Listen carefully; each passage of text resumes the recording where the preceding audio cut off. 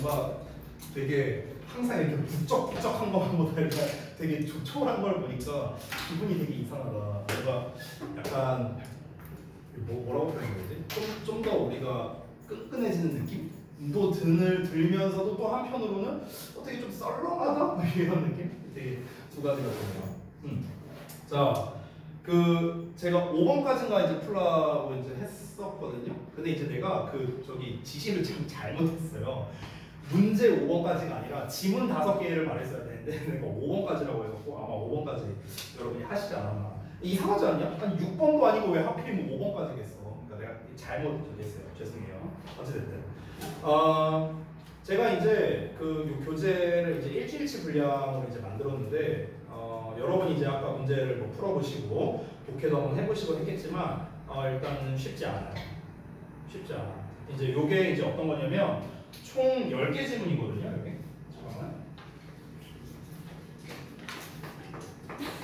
10개 지문을 가지고 각 지문당 3문제씩 제가 만들었어요.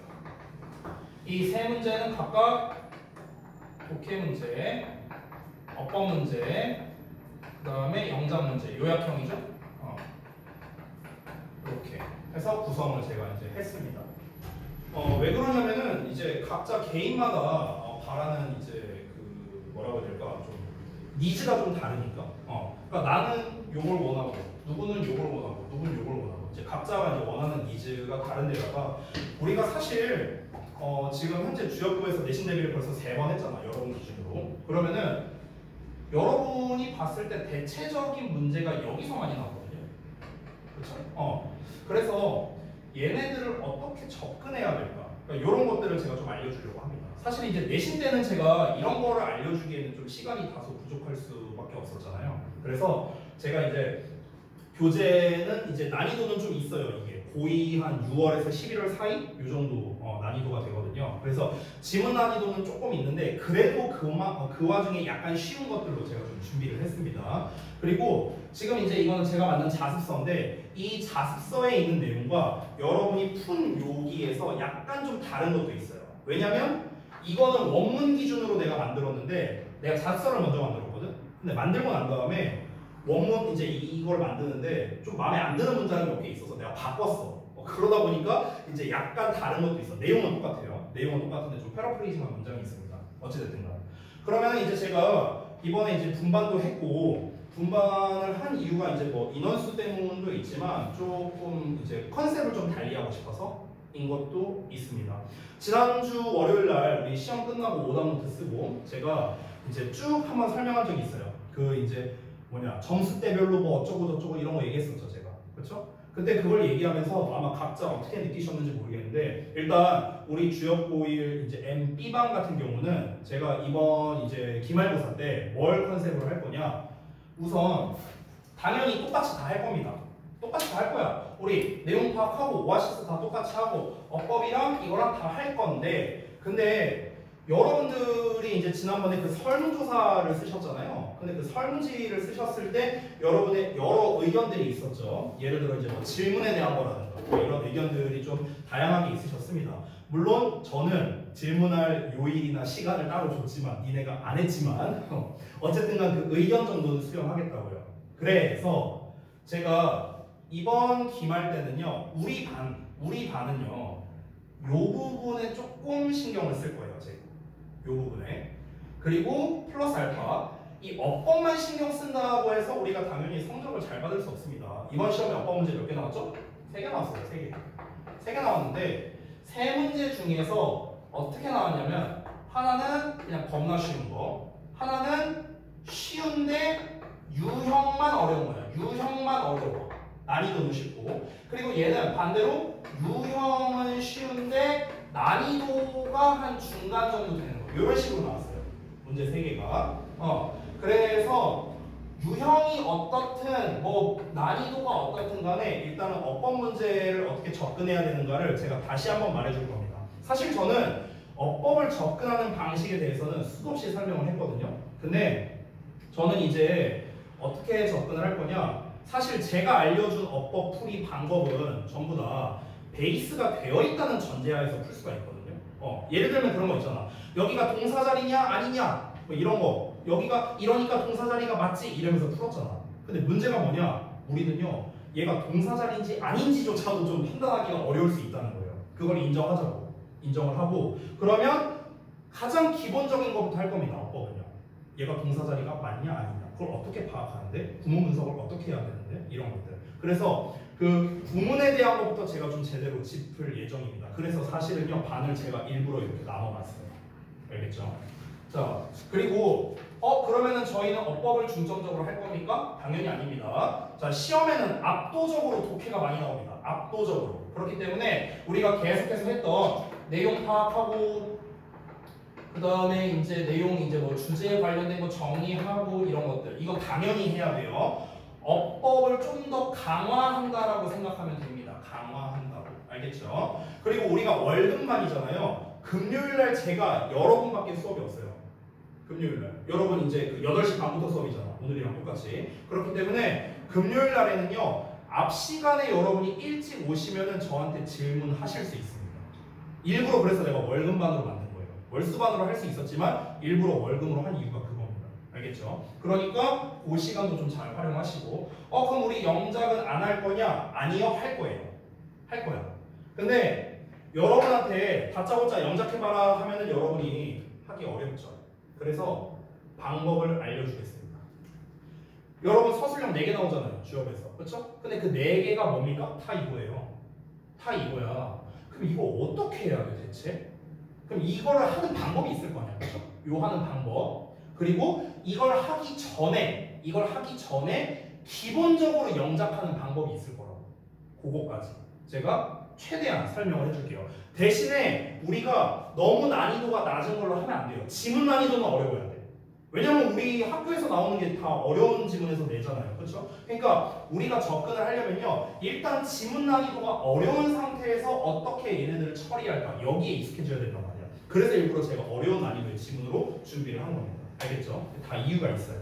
그래서 여러분께서 제가 진짜로 부탁드리고 싶은 게 있습니다. 뭐냐면요. 자, 내가 뭔가를 설명을 했는데 진짜 모르겠어. 어. 자, 얘가 이러니까 이렇지 이렇게 뭐 설명을 했어. 근데 난 모르겠어. 그러면 꼭 질문을 해주셔야 돼요. 왜냐면 이 반의 컨셉은 언제 깨질지 몰라요. 왜냐면 지금 이제 어쨌든가 우리 신규생들도 좀 많이 들어오고 있으니까. 그러니까 여러분이 어, 최대한 얻어가십시오. 최대한. 각자가 본인들이 부족한 점이 있을 겁니다. 각자가 잘하는 점도 있을 거고요. 그러면요, 본인들이 부족한 점을 꼭 가져가시기 바랍니다. 뭔가 그동안 이해가 안 됐던 거, 뭐든 좋아요. 꼭 해결해야 돼요. 일주일밖에 안 되긴 하지만, 다음 주부터 또 내신이죠? 어, 벌써 내신이죠. 또 다음 주부터. 하지만 우리가 내신대를 시작해서도 마찬가지예요. 구문 분석을 했고 해석을 했는데 내가 틀렸대. 그럼 얘를 해석을 어떻게 해야 돼? 왜 얘가 해석이 이렇게 되는 거야? 뭐 여러 가지가 있을 수 있겠죠. 어떤 질문이든 좋습니다. 그러니까 꼭 질문을 하셨으면 좋겠습니다. 그리고 가장 기본 중에 기본. 어, 여러분 중에서 이번 어, 2학기 중간고사 성적에 만족하는 분은 없을 겁니다. 만족합니까? 여러분 만족해요? 아니죠? 음. 자, 그래서 그러면은 본인이 만족할 만큼의 성적이 나오려면요. 딱 한 가지 전제 조건이 필요합니다. 뭘까요? 일단 열심히 해야 돼. 일단 열심히 해야 돼. 이거는 너무나 당연한 겁니다. 여러분, 우리 하나만 약속하자. 하나만. 내가 딴 거 안 바랄게. 하나만 약속하자. 여러분들 이번 그 오늘 수업 포함해서요. 앞으로 우리 2학기 끝날 때까지 나보다만 열심히 해주세요. 나보다. 나보다 열심히 해야 돼? 재현아. 나보다 열심히 해야 돼? 할 수 있어? 어이씨 왜 말이 없어 자식아 나보다 열심히 해야 돼? 어 나보다 열심히 해야 되잖아 그래서 나보다 열심히 해야 돼 아니 왜 웃기만 하고 대답이 없어 이 자식들아 재원아 나보다 열심히 해야 돼 알았지? 어 저보다 열심히 해야 돼요 저보다 어 그 여기서 1학기 때부터 하신 분들은 알겠지만 제가 어떻게 수업 준비하는지 다 아실 거라고 믿어요 나보다 열심히 해야 돼 저 참고로 말하면요 이번에 그 또 생각해 놓은 것들이 있어요. 이번 이제 중간고사 때 여러분이 또 그 설문지 뭐 이렇게 써준 거 있잖아요. 그걸 기반으로 내가 아 그러면 이번 기말고사 때는 이거를 좀 더 이제 좀 변경해서 좀 더 이렇게 해야겠다라고 생각해 놓은 구상해 놓은 게 몇 개 있어요. 근데 그 구상해 놓은 거를 진행하려면요. 그러면은 오아시스를 또 업그레이드를 해야 돼요. 제가 참고로 말하면요. 그럼 오아시스를 업그레이드 하려면 내가 또 시간이 걸려요. 어. 그러면 저 어떻게 할 거냐? 여기 계신 분들 몇몇 분은 저랑 인스타 친구죠? 나 여기서 라이브 방송 키고 작업할 거예요. 새벽에. 나 여기서 라방 키고 할 거야. 알았어? 어. 그러니까 내가 만약에 라, 어? 라방이 내가 안 끝났는데 본인이 먼저 자러 간다? 어, 그러면 안 되지. 나보다 열심히 해야 되니까. 알겠지? 자, 그러면 한번 이제 보도록 하겠습니다. 자, 그 첫 번째 질문부터 한번 볼 건데, 어, 아까 말했다시피 이 교재의 컨셉은요, all in one입니다. 그러니까 뭘 여러분이 원할지 몰라서 다 준비한 거예요. 그래서 제가 이름을 이제 ACE라고 지은 겁니다. All in One Comprehensive for English. 됐어요? 그래서 전부 다 한 곳에 들어있는 종합 영어다. 이런 식으로 이름을 지은 겁니다. 어, 그래서 이제 독해는 우리가 어떻게 접근을 해야 되는가. 그리고 정말 기본적인 글 읽는 법부터 알려줄게요. 글 읽는 법부터. 어법은 어떻게 접근을 해야 되는가. 영작은 어떻게 접근해야 되는가. 하나씩 다 알려줄 겁니다. 오늘 제가 핵심적인 거 다 알려줄 거거든요. 그래서 오늘 결석한 그지 같은 두 마리는요. 이거를 인강으로 봐야 돼요. 너. 어. 자, 그래서 이제 오늘 오신 분들은 요거 필기를 잘 하시기 바랍니다. 내가 좀 필기 좀 많이 할 거거든. 그러니까 뭐 각자 뭐 노트에다 하시든 뭐 프린트에 하시든 뭐 편하신 데다가 하시면 됩니다. 자, 가장 기본적인 것부터 한번 해봅시다. 일단 우리가 글, 그러니까 교과서를 제외한 글의 패턴을 알려줄게요. 글의 패턴.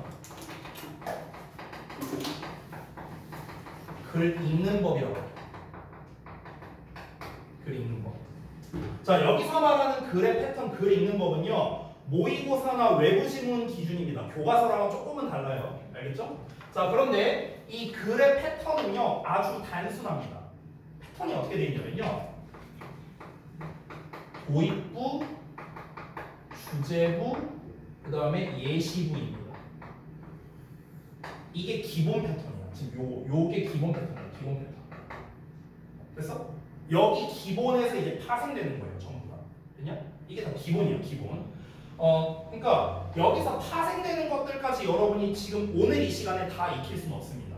근데 이제 뭐 예를 들어 파생이 어떻게 되냐면요. 뭐 이런 식이야. 이건 안 써도 돼요. 요것만 알면 돼요. 요것만. 어, 뭐 예를 들어서 첫 문장이 도입부잖아요. 근데 도입부이면서 동시에 주제인 경우도 있어요. 이런 경우도 있고요. 안 써도 돼요. 그리고 바로 이제 부연 설명이 거 이런 패턴도 있고 또는 통념이 나와요. 그러고 난 다음에 이 통념을 반박하는 패턴이 나오기도 합니다. 통념이란 건 뭡니까? 일반적으로 사람들은 이렇게 생각해. 하지만 실제로는 그러지 않아. 그래서 이게 통념 반박 패턴이야. 이렇게 나오는 경우도 있고 또는 어떤 문제점이 나옵니다. 자 이러이러한 게 문제야. 그래서 얘는 이런 식으로 해결해야 돼. 해결책이 나오거나 뭐 이런 패턴도 있어요. 또는 하나만 더 써볼까? 어떤 질문이 나옵니다.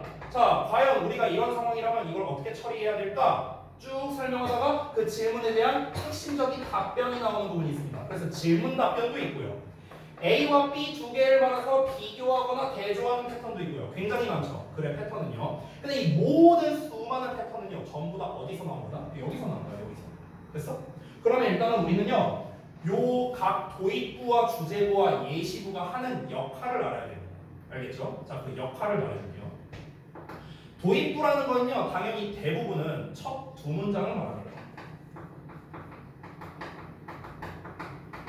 첫 두 문장. 어, 이거는 이제 글의 패턴마다 달라요. 첫, 한 문장만 도입부이거나 두 문장이 도입부거나 아니면 아예 도입부가 없거나 아니면 아예 예시로 시작하거나 이게 시작은 다 다릅니다. 근데 대체로는 첫 두 문장 정도가 도입부인 경우가 많다는 거예요. 첫 문장이나 아니면 두 번째 문장까지. 그렇죠? 자, 이 도입부가 하는 역할을 알려줄게요. 도입부가 하는 역할. 잘 봐봐. 여러분, 여러분이 읽는 이런 교재에 있는 이런 글들 있죠. 영어로 된 글들. 수능 감잡기나 모의고사나 이런 글들 있죠. 이게 다 어디서 발췌해 놓은 줄 알아요? 이게 직접 그 평가원이나 교육청에서 직접 만드는 것도 있는데요. 이제 어딘가에서 따오는 경우도 되게 많단 말이에요. 글을요. 근데 이걸 어디서 따오냐면요. 대부분 논문에서 따오는 거예요. 해외 논문에서. 논문에서 따오는데 이제 논문 내용이 어렵고 길잖아요 원래. 그러니까 그 논문 내용에서 일부분만을 발췌해서 여기에서 단어와 어려운 것들을 교정 작업하는 거야. 그게 모의고사 문제로 나오는 거야. 됐냐? 이런 식이란 말이야. 근데 이제 이 논문을 여러분이 이제 뭐 논문을 써보진 않았겠지만 논문 쓸 때 그런 게 있어요. 잘 봐봐. 논문을 업로드하는 사이트가 있거든요. 예를 들어 여러분이 많이 쓰는 곳은 DBP와 같은 사이트겠죠. 그러니까 그런 데뿐만 아니라 진짜 이제 논문을 이제 게시하는 사이트가 있어. 그럼 여러분이 한번 생각해봐. 아니 굳이 논문을 게시하는 사이트를 들어가서 논문을 읽는 사람들은요 굉장히 학구적인 사람들이겠죠. 어 우리가 논문 사이트 들어가서 논문 읽겠냐? 아 오늘 주말인데 심심한데 논문이나 하나 읽어야지 이러겠어요 여러분이? 그럴 리가 없잖아. 저도 마찬가지예요. 그렇잖아. 그러면은 그 논문을 읽는 사람들의 특이 뭐냐면요. 전부 다 굉장히 학구적이라는 거야. 근데 이 학구적이니까 이 사람들의 호기심을 자극해야 돼요. 그렇죠? 그러니까 쉽게 말하면요. 어그로를 좀 끌어야 돼요. 어그로를. 근데 이 어그로를 끌려면 어떻게 해야 됩니까? 첫 문장이 중요해요. 그렇죠? 어. 그러니까 그래서 첫 문장이 항상 그럴듯한 말을 써야 돼요. 그럴듯한 말. 그럴듯한 말을 딱 써놓고 난 다음에 클릭을 유도해야 돼요. 이해되죠? 뭔 말인지. 그래서 도입부 같은 경우는요. 보통 어그로성 이야기가 많아요. 어그로성. 근데 그냥 어그로만 끌면 안 되죠. 도입부에서 뭐가 등장해야 됩니까? 나 이런 얘기 할 건데 클릭 좀 해서 한번 봐볼래? 이런 거야. 즉 뭐가 등장해야 되냐면요. 소재가 등장하는 부분이다 라고 보면 됩니다. 소재가 등장한다. 선생님 소재가 뭐예요? 쉽게 말할게요. 글을 쓰기 위한 재료입니다. 글을 쓰기 위한 재료. 더 쉽게 말할까요? 뭐에 대한 이야기야? 이게 소재야. 됐어? 우리가 보통 글을 읽을 때 한두 문장 정도 읽으면요 대충 파악이 돼요. 뭐가? 이게 뭐에 대한 얘기야? 뭐에 대해 뭐에 대해서 말하고 싶은 거야? 이 정도는 파악이 가능하고 그게 바로 뭐라? 소재라는 녀석이야. 소재. 알겠지? 자 그러면은 주제 문장은 어떤지 한번 볼게요. 주제 문장. 그럼 주제 문장은 아까 우리가 앞부분에서 도입부를 통해서 아 이거에 대해서 얘기하려고 하는구나 여기까지는 알았어. 그러면은 그 소재를 가지고 소재를 가지고 아, 무슨 이야기를 하는 거야? 이게 바로 주제예요. 소재를 가지고 뭔 얘기할 건데? 아니 내가 분필 어쩌고 얘기를 했어 초반부에. 그래서 분필 갖고 뭔 얘기를 할 건데? 분필이 좋다는 거야, 나쁘다는 거야, 아니면은 분필 대신으로 뭘 쓰라는 거야, 아니면은 칠판에 쓸 수 있는 모든 필기구에 대해서 얘기하겠다는 거야, 아니면은 분필의 역사에 대해서 얘기하겠다는 거야, 뭐야? 됐어? 이런 것들. 이게 전부 다 뭐야? 주제가 될 수 있다는 거죠. 분필 가지고 뭔 얘기할 거야? 됐죠? 즉 소재를 가지고 뭔 얘기를 할 거야. 근데 주제라는 거는요, 여러분 우리가 영화 같은 거 볼 때도 영화의 제목 같은 걸 보잖아. 그럼 영화의 제목을 보면은 아, 대충 이런 내용이지 않을까 하고 우리가 아주 대충은 예상할 수 있죠. 그렇죠? 그런 것처럼 주제라는 녀석은요. 그 주제라는 것 자체가 완벽하게 글 전체를 다 설명할 수는 없어요. 아니 우리가 영화 어벤져스만 보면 어벤져스 내용을 다 알아요? 말이 안 되잖아. 그렇잖아. 근데 우리가 아 대충은 어떤 내용이겠구나 하는 걸 알 수는 있잖아요. 그렇죠? 그런 것처럼 주제문은요 특성을 가지고 있습니다. 이 주제문 여기다 쓸게요. 주제문은요 특성이 있는데 어떤 특성이 있냐면요 굉장히 일반적이어야 돼요. 그리고 글 전체를 아우를 수 있게끔 포괄적이어야 됩니다. 그리고 좀 더 우리가 문학적으로 봤을 때는 비유적이거나 은, 은유적으로 쓰일 수도 있겠죠. 비유적으로도 쓰일 수 있고요. 마지막으로 비유에서 좀 더 확장된 추상적일 수도 있습니다. 이게 주제문의 특성이에요. 주제문은요, 그 문장이 글 전체를 포괄할 수 있는 내용이어야 돼요. 어, 그러니까 우리가 주제문만 딱 읽으면 아, 이 글의 전체적인 내용이 자세하게 모르겠지만 대충 이렇겠구나. 이 정도는 파악이 돼야 된다. 그래서 그게 바로 주제문입니다. 그러면 우리가 방금 말했다시피 주제만 보고는 이 글의 자세한 내용을 알 수 없죠. 자세한 내용을 알려면 뭐가 필요합니까? 구체적 내용이 필요하죠. 말 그대로 구체적 내용. 그 구체적 내용이 뭐예요? 예시입니다. 예시. 그래서 예시 좀 자리가 없어서 여기 아래다 쓸게요. 어. 그래서 예시는요 특성이 당연히 구체적으로 설명을 하는 부분입니다. 구체적으로 설명. 근데 우리가 설명을 할 때 굉장히 여러 가지 방법으로 설명을 할 수 있거든요. 예를 들어서 비유해서 설명할 수도 있고요. 누군가의 말을 인용해서 설명할 수도 있고요. 그렇죠? 아니면은 실험을 통해서 설명할 수도 있겠죠. 그렇죠? 아니면은 비교나 대조를 해서 설명할 수도 있겠죠. 뭐 굉장히 많아요. 설명할 수 있는 방법. 됐습니까? 어. 그러니까 설명하는 방식은요. 쓰는 사람 마음이에요. 쓰는 사람 마음. 됐어? 음. 어, 그러니까 예를 들면 이런 거야. 내가 지금 막 즉석에서 한번 이 이야기를 내가 만들어서 우리말로 지어내 볼 테니까 여러분이 생각했을 때 내가 한 세 문장 정도 말할 거거든? 세 문장? 세네 문장 정도 지금 내가 그냥 말로 해볼게. 그럼 여러분이 한번 맞춰보세요. 내가 지금부터 말하는 내용의 소재는 무엇인지, 어, 어떤 부분이 주제문인지, 그리고 예시가 어디고 예시를 내가 뭘로써 설명했는가 이걸 한번 맞춰보십시오. 자, 잘 들어요. 내가 그냥 말로 할 테니까 쓸려면 오래 걸리니까. 사람들은 밀폐되어 있는 공간에서 선풍기를 틀고 자면은 죽는다고 생각해. 근데 실제로는 선풍기 틀고 자도 안 죽어. 왜 안 죽냐고? 내가 옛날에 실험해봤어. 궁금해갖고. 진짜 실험해봤어요. 선풍기를 두 개를 틀고 내가 창문이랑 문을 다 닫고 잤어. 근데 내가 살아있잖아. 그래서 다시 한번 보다 선풍기 틀고 자도 안 죽어. 자, 문장 끝났습니다. 글 끝났어요. 방금 내가 말한 글의 소재가 뭐예요? 뭐에 대해 얘기했어요? 선풍기. 선풍기에 대해서만 얘기한 건 아니죠. 또 선풍기. 또 뭐가 나와야 돼? 키워드가 하나 더 나와야 돼요. 실험 아니에요. 아, 실험은 부연설명. 죽음? 어우 좀 세긴 한데요. 예, 뭐 틀린 건 아닙니다. 근데 그 선풍기와 죽음을 바로 연결짓기는 어렵잖아요. 중간에 뭐가 있어야죠. 어떤 거?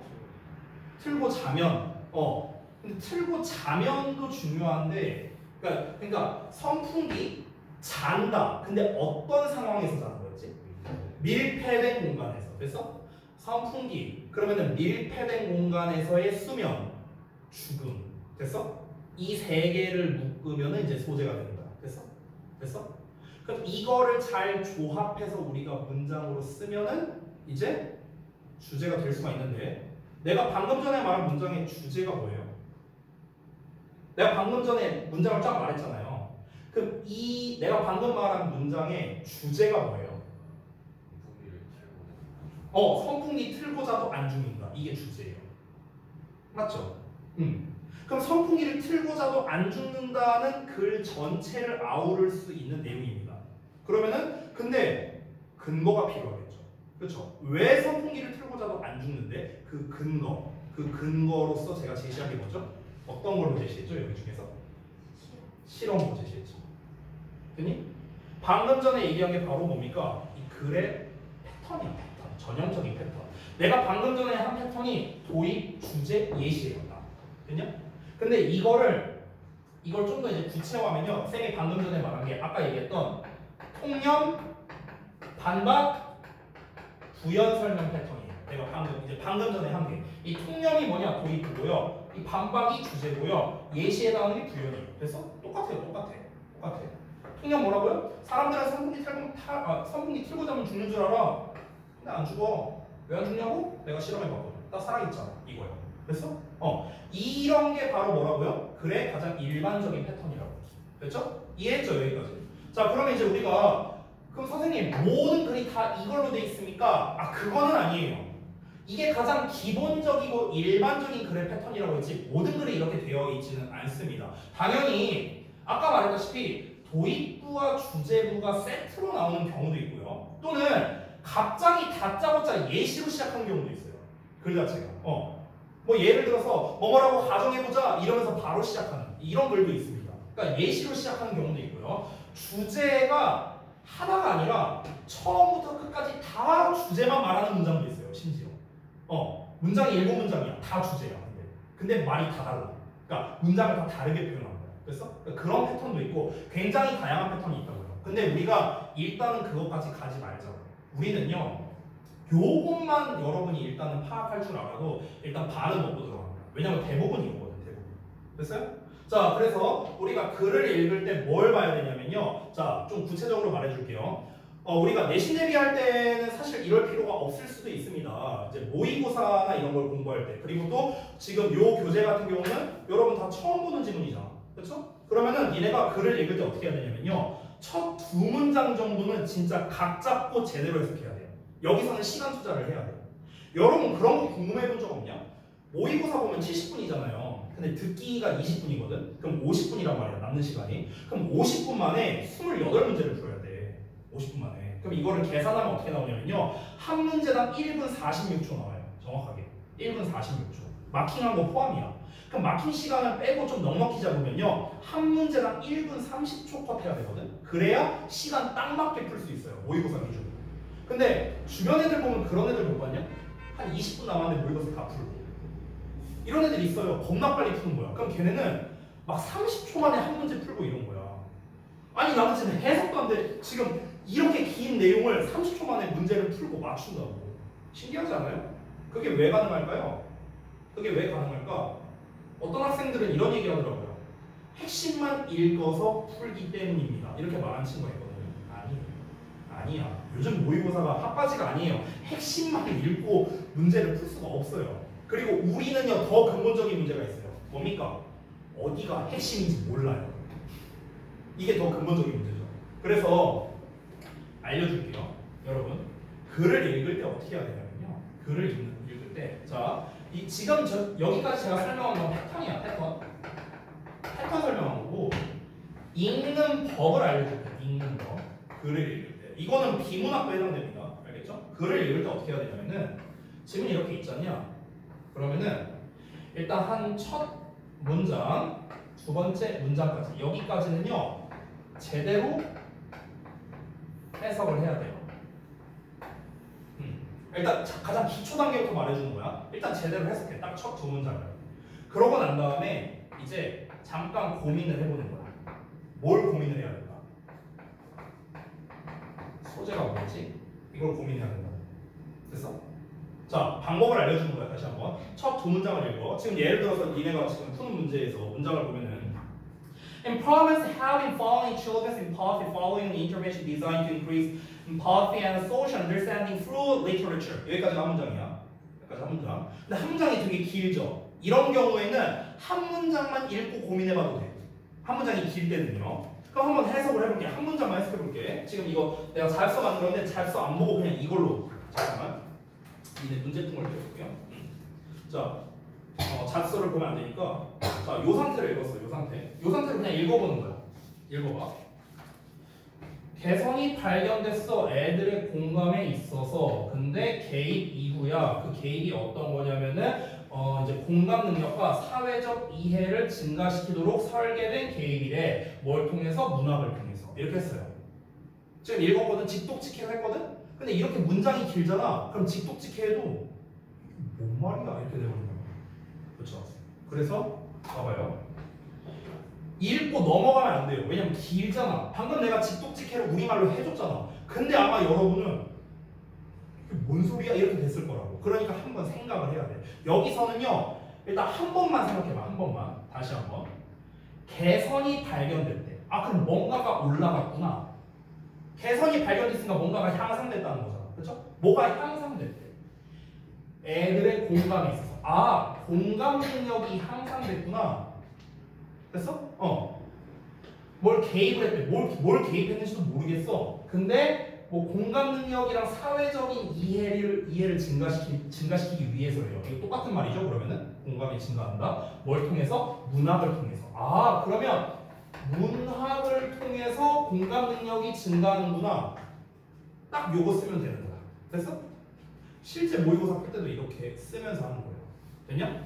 그러면 우리가 첫 문장에서 얻어야 할 정보는 뭡니까? 문학 작품을 통해서 공감 능력이 향상되는구나. 누구의? 애들. 됐냐? 어. 그럼 여기서 핵심 소재가 뭡니까? 문학, 공감, 증가한다. 됐어? 이 세 개가 바로 핵심 키워드인 거야. 이해됐냐? 어, 요렇게 일단 접근을 하는 거야. 자, 그러면은 첫 두 문장 정도 이거 문장 길이에 따라 좀 차이는 있지만 제대로 해석해서 고민을 해서 소재를 뽑아냅니다.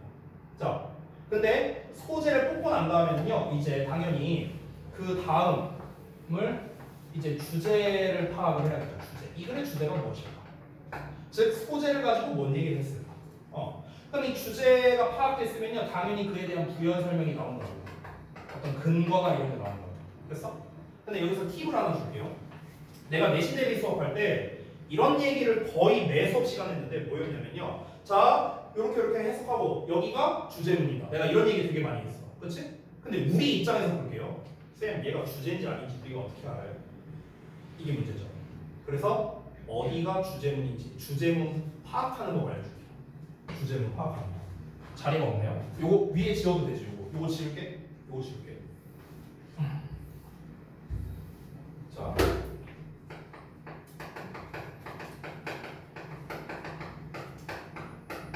주제문을 파악하는 방법은요, 어, 좀뭐 여러, 그러니까 글의 패턴이 워낙 다양하니까 뭔가 딱 한 가지로 정해져 있거나 이렇진 않아요. 근데 이제 제가 지금부터 말씀드리는 주제문은요, 가장 일반적인 이제 그 주제문 파악법입니다. 가장 일반적인 거예요. 100%가 아닙니다. 그건 글의 종류에 따라 패턴에 따라 다르니까요. 가장 일반적인 거. 첫 번째, 어, 일단 뭐냐면요, 굉장히 단호한 말투가 나오는 경우가 많아요. 단호한 말투.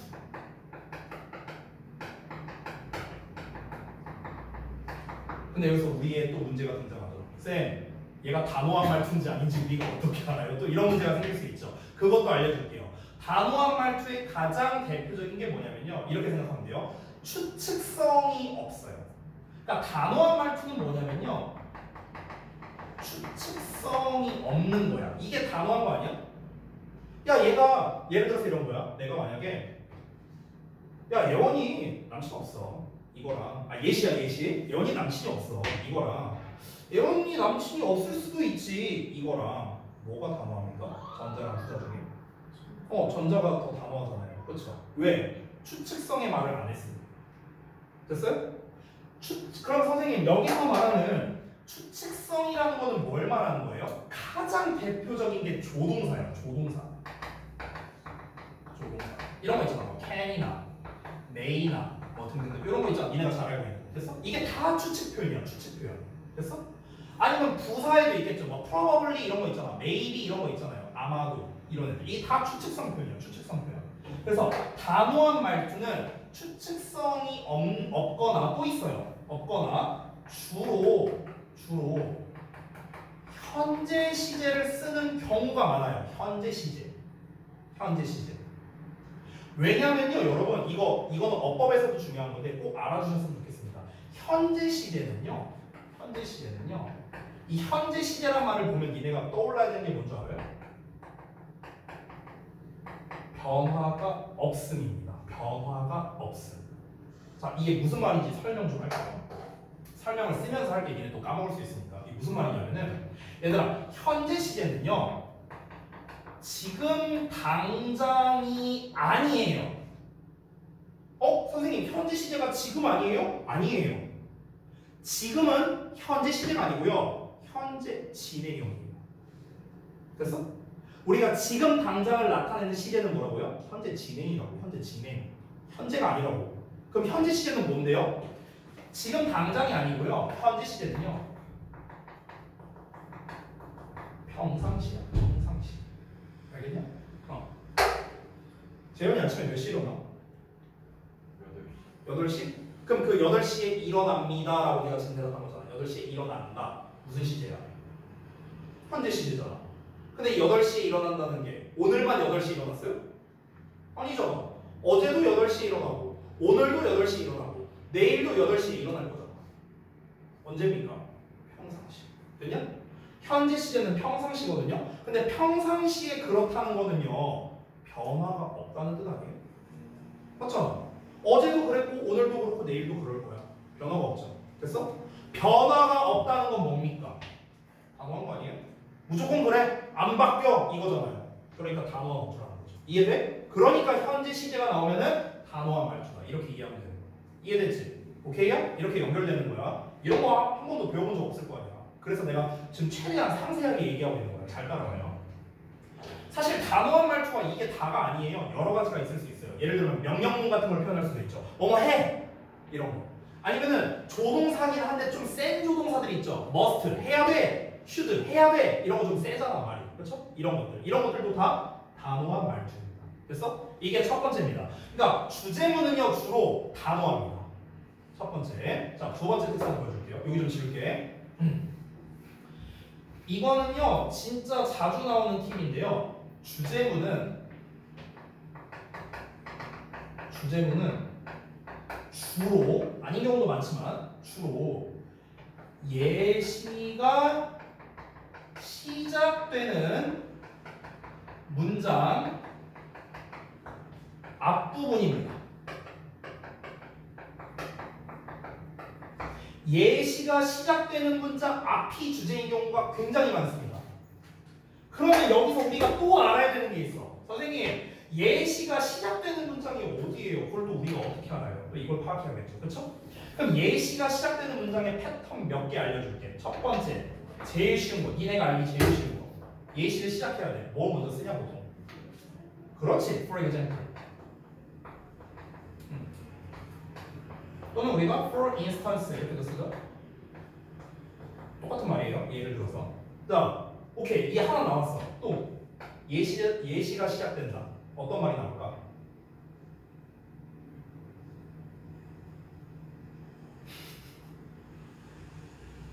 내가 예시를 들고 싶어. 아까 내가 선풍기 얘기했잖아. 그렇죠? 예시를 들고 싶어. 어떻게 해야 될까? 아까 실험 얘기했었죠. 그렇죠? 그럼 만약 실험 예시를 들 거라면 어떻게 말해야 될까? 내가 실험을 해봤는데 이런 식으로 시작하지 않을까? 그럼 어떤 실험에서 한 연구에서 이런 것들. 어, 그러니까 한 실험에서 또는 연구에서 어쩌고 저쩌고. 이것도 예시죠. 됐어요? 아까 전에 내가 예시 패턴 또 알려준 거 있거든요. 인용을 할 수도 있어요. 인용을 할 때 제일 많이 쓰는 표현이 있는데 제일 많이 쓰는 표현이 있어. A로 시작하는 거. 어떤 사람의 말을 인용할 거야. 힌트를 좀 줄까? 예를 들어서 어야 로이센 말에 따르면 인용하는 거잖아. 누구누구에 따르면 어 맞아요. according to 됐어? 이것도 인용하는 거잖아. 그럼 이것도 뭡니까? 예시가 시작될 때 하는 거겠지. 됐냐? 어. 아직 안 끝났어요. 더 있어요. 두 개만 더 쓸게요. 두 개만. 근데 내가 자리가 없- 여기 자리가 없었고 여기다 쓸게 나는. 이는 그냥 아래다가 쓰세요. 전 4번 여기다 쓸게요. 어 이거는요 학년이 좀 올라가면 많이 나오는 패턴이야. 그러니까 1, 2, 3번은 좀 쉬운 패턴. 얘는 쉬운. 얘는 좀 쉬운 쉬운 패턴이고요. 이 4번, 5번은요 좀 이제 고난도 패턴에서 많이 나오는 겁니다. 고난도에서 많이 나오는 패턴이에요. 4, 5번은요. 4번은 뭐냐면요 바로 if를 쓰는 겁니다. if. 음, 얘가 가정법이냐 아니냐는 중요하지 않아요. 우리가 알고 있는 if가 뭡니까? 만약에잖아. 뭐뭐 한다면. 그렇죠? if는요 대부분은 예시의 역할을 합니다. 대부분. 됐어? 어. 그러니까 이런 거야. 아까 선풍기 얘기했잖아. 야 선풍기 틀고 자도 사실 안 죽어. 야 만약에 선풍기를 틀고 자면 죽는다고 쳐보자. 이러면서 시작하는 거야. 됐어? 예시잖아요. 그렇죠? 어. 그러니까 이 if로 시작하는 경우에 예시가 굉장히 많이 나온다는 거. 이건 좀 고난도 패턴에서 많이 나옵니다. 자, 그 다음에 이제 마지막 다섯 번째. 이것도 고난도인데요. 뭐냐면 앞 내용과 갑자기 전혀, 그러니까 처음 보는 단어나 이런 게 나와요. 그러니까 처음 보는 어 다 명사, 아니 명사가 아닌데 뭐라고 해야 되지? 그러니까 처음 표현, 아 표현도 좀 애매한데 뭐라고 해야 되지? 그러니까 아 처음, 그러니까 어떤 특정 단어가 그러니까 처음 등장하는 소재라고 쓸게요. 그러니까 처음 등장하는 소재가 나옵니다. 자, 처음 등장하는 소재가 나온다는 건 뭔 말이냐면 예를 들어 볼게. 내가 예를 들어서 아까 전처럼 선풍기 얘기를 했어. 어, 야 선풍기 틀고 자면 사람들 죽는 줄 알거든. 근데 실제로는 선풍기 틀고 자도 안 죽는다. 자, 설명해 줄게. 너네한테 오토바이가 한 대씩 있어. 이러면서 얘기하는 거야. 그럼 앞에서 선풍기 얘기했는데 갑자기 오토바이 얘기 나왔잖아. 그치? 아예 소재가 달라졌죠. 뭐야? 예시예요. 됐냐? 이렇게 생각하면 거야. 이건 좀 고난도 패턴에서 나와. 됐지? 이게 전부 다 뭐야? 다 예시가 시작되는 문장의 패턴들이라고. 그러면 주제문은 어디 있어요? 얘네 앞에. 됐냐? 얘네 앞에. 자. 그래서 보통은 이제 패턴이 이렇게 갑니다. 여기까지 이해됐어요? 됐죠? 자, 그러면은 우리 지금 글 하나도 안 읽었는데 지금 글 읽는 법 배운 거야. 글 읽는 법. 근데 지금 여러분께서